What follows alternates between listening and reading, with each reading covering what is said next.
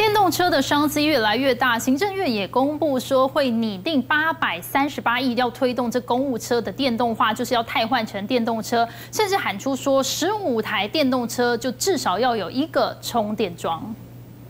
大大的头灯搭配标志性的油绿色，邮差们的新坐骑升级成电动机车。目前中华邮政已经有三千两百多辆电动机车，未来还会再增加。因为行政院最新公布，将会拟定八百三十八亿推动全面电动化。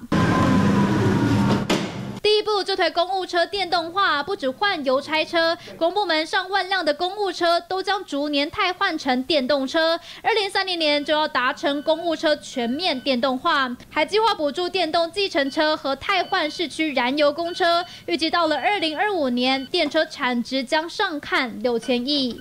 电动车要普及，其实充电桩就很重要。经济部预计到了二零二五年呢，电动车跟充电桩的比例就可以达到十五比一。车桩比跟欧美国家看齐，但华虹先进总经理李炳彦表示，要让电动车普及，车桩比要先提升到十比一。因为台湾私人充电桩设置通常得经过大楼管委会同意，如果不能在家充，公共电桩就变得很重要。我们累积销售以及建制的充电桩呢，已经超过了。两千五百支，未来呢，预计在三年内呢，在全台湾要设置超过两百个充电站，啊，提供给我们未来的电动车车主呢的使用上的一个便利。而随着电动车销量提升，台湾马达动力系统供应链的表现也相当亮眼，像和大电动车减速箱的市占率就超过两成，而台达电马达也成功打进欧系全球前五大车厂，中钢的电磁钢片全球市占比也越来越高。专家认为，台湾电动车舰队已经准备抢食大饼。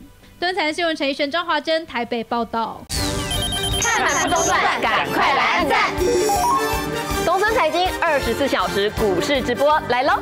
快点扫 QR code 加入，让我们来陪着你们看盘。最及时的盘中资讯，最权威的投资分析，满满一整天盘后交战，都在东森财经二十四小时股市直播。